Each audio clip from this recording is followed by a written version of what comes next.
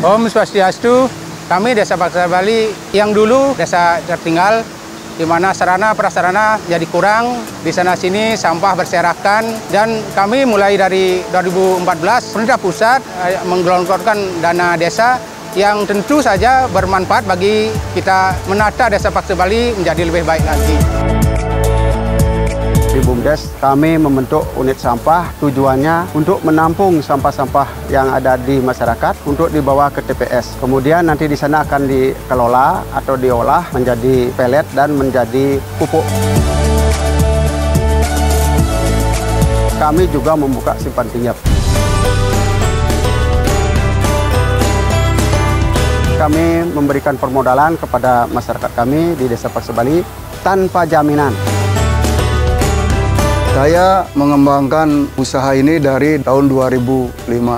Sudah berjalan beberapa tahun, kita pinjam modal dari BUMDes dengan bunga yang sangat ringan untuk mengembangkan usaha ini dan hasilnya sangat menggembirakan.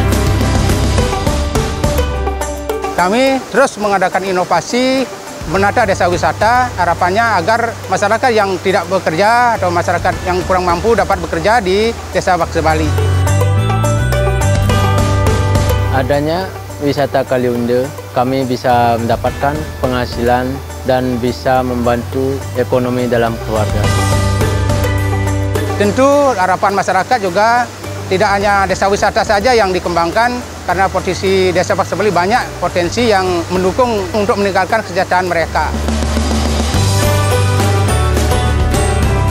Pelayanan kepada masyarakat juga kami melakukan inovasi.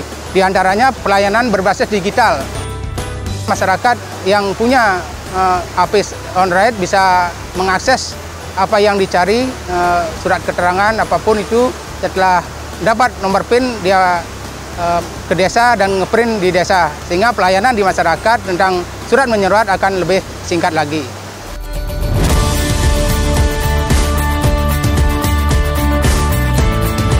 Dengan adanya dana desa tersebut, kami masyarakat mengucapkan terima kasih semua juga merasakan dampak dari dana desa adalah pengembangan desa wisata dan juga industri-industri lain sehingga masyarakat menjadi lebih sejahtera.